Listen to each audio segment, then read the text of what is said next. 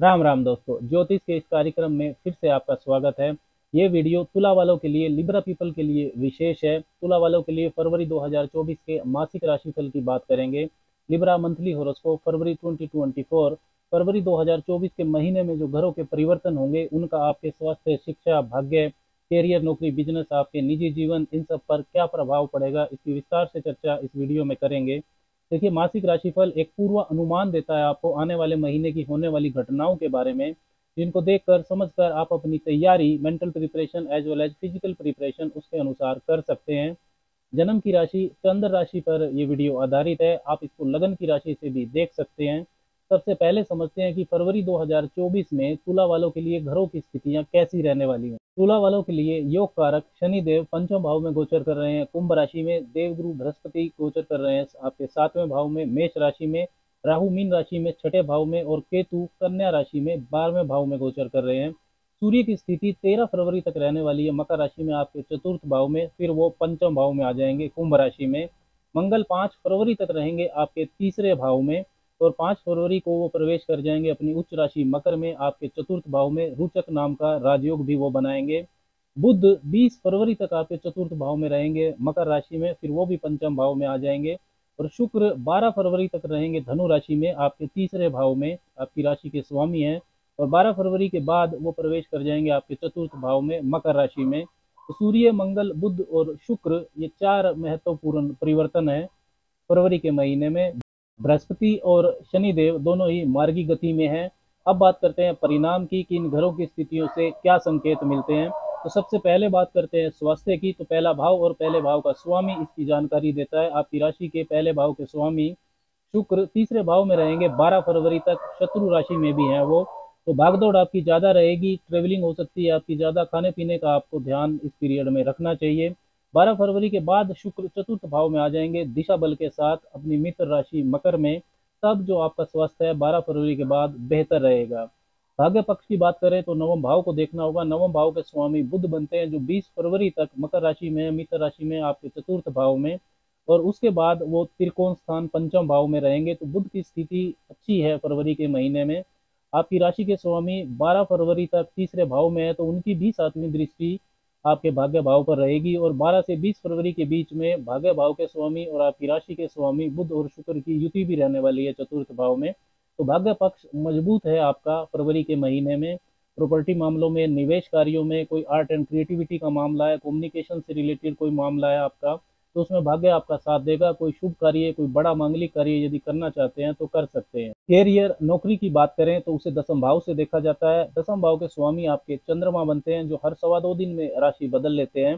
तो कैरियर के मामले में वर्क एनवायरनमेंट को लेकर, काम से संतुष्टि को लेकर मूड स्विंग तो आपका होता ही रहता है।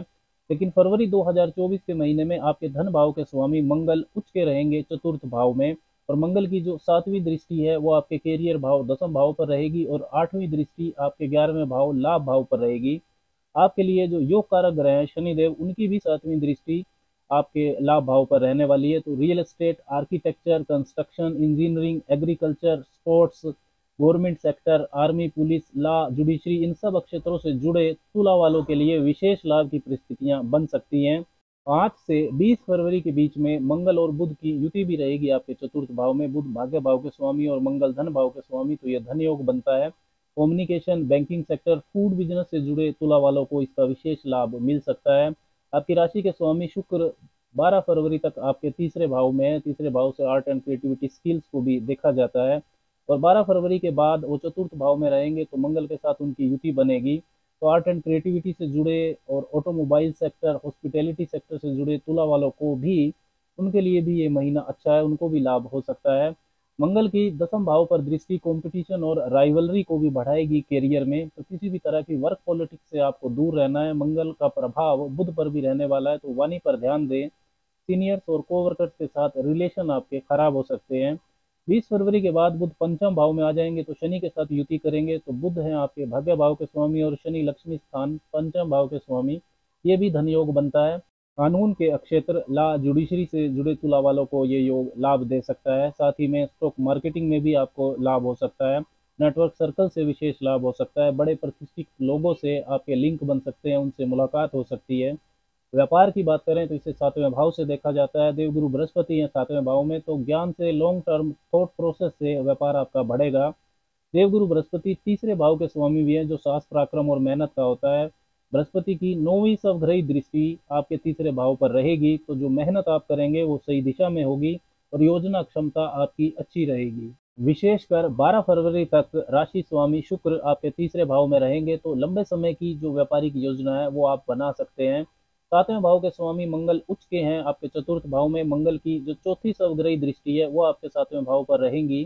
फरवरी के महीने में बुध भी केंद्र स्थान, चतुर्थ भाव और पंचम भाव त्रिकोण स्थान पर रहेंगे। तो बुध भी अच्छे हैं तो व्यापारिक ग्रोथ वाला महीना है फरवरी का तुला वालों के लिए। विशेषकर जो टेक्निकल क्षेत्र से जुड़े हुए हैं ऑनलाइन इंटरनेट से जुड़े कार्य करते हैं मैनेजमेंट का कार्य करते हैं, इन सब क्षेत्रों के लिए लाभ की परिस्थितियाँ रहेंगी। नई बिज़नेस डील्स आपकी हो सकती है, व्यापारिक विस्तार यदि आप करना चाहते हैं तो कर सकते हैं। वैवाहिक जीवन भी सातवें भाव से ही देखा जाता है। आपकी राशि के स्वामी शुक्र और सातवें भाव के स्वामी मंगल की युति रहेगी चतुर्थ भाव में 12 फरवरी के बाद। तो वैवाहिक जीवन भी अच्छा रहेगा फरवरी के महीने में। पहले के मन मुटाव आपके दूर हो सकते हैं। मंगल की चौथी सवग्रही दृष्टि आपके सातवें भाव पर है। मंगल अच्छा करेंगे, फिर भी जल्दबाजी से बचें।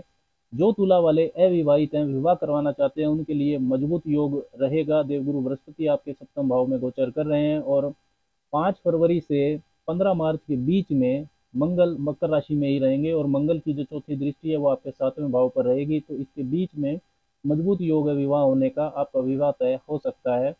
ओवरऑल आर्थिक स्थिति की बात करें तो दूसरे भाव, धन भाव के स्वामी मंगल उच्च हैं। चतुर्थ भाव में धन की बचत आपकी बढ़ेगी, माता से, परिवार से भी आपको आर्थिक सहयोग मिल सकता है। लाभ भाव के स्वामी, सूर्य, तेरह फरवरी तक आपके चतुर्थ भाव में है तो सरकारी कार्यों से आपको लाभ हो सकता है।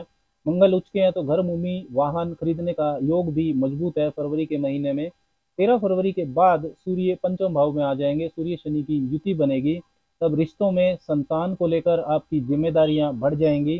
सूर्य शनि की ऊर्जाएँ विपरीत होती हैं तो इनकम को लेकर, संतान को लेकर जो भी निर्णय लें आप तेरह फरवरी के बाद, वो बहुत सोच समझ कर लें। शिक्षा पक्ष की बात करें तो उसे पंचम भाव से देखा जाता है। पंचम भाव में शनि बैठे हुए हैं सवराशि के पंचम भाव के स्वामी पंचम में ही हैं। और तो राहु भी छठे भाव में गोचर कर रहे हैं। फरवरी के महीने में विद्या बुद्धि के कारक बुद्ध भी अच्छी स्थिति में है। तो शिक्षा प्राप्ति, उच्च शिक्षा प्राप्ति के लिए महीना काफ़ी शुभ है। गवर्नमेंट जॉब पाने का प्रयास तुला वाले जो विद्यार्थी हैं, उनका सफल हो सकता है। कोई एडमिशन है, एग्ज़ाम है तो लाभ की संभावना रहेगी। लव रिलेशंस की बात करें तो उन्हें भी पंचम भाव से ही देखा जाता है। पंचम भाव के स्वामी शनिदेव पंचम भाव में है तो कोई मेच्योर व्यक्तित्व आपके जीवन में आ सकता है। रिलेशंस में गिविंग एटीट्यूड अगर रखेंगे तो आपके लिए अच्छा रहेगा। कारक शुक्र भी 12 फरवरी के बाद आपके चतुर्थ भाव में आ जाएँगे तो अच्छा महीना है रिलेशनशिप को लेकर। फॉरन ट्रेवल की बात करें तो बारहवें भाव से उसे देखा जाता है। बारहवें भाव में आपके केतु गोचर कर रहे हैं जो विदेश यात्रा करवा सकते हैं। बारहवें भाव के स्वामी बुद्ध भी शुभ स्थिति में है फरवरी में। तो विदेशी मामलों के लिए भी महीना शुभ है, कोई वीज़ा पीआर का यदि इशू है तो वो रिजोल्व हो सकता है। अब बात करते हैं विशेष उपायों की कि तुला वालों को क्या विशेष उपाय फरवरी के महीने में करने चाहिए। तो शुक्र का मंत्र जपिए आप अपने राशि के स्वामी का। ओम द्राम द्रीम द्रोम सह शुक्राय नमः। हर रोज 10-15 मिनट सुबह सुबह गणपति उपासना आपको करनी चाहिए। भगवान गणेश को दुर्वार्पण करें और गणेश अथर्वशीष का पाठ करें। धार्मिक धार्मिक पुस्तक का दान मंदिर में करना भी आपके लिए बहुत शुभ रहेगा। राम राम।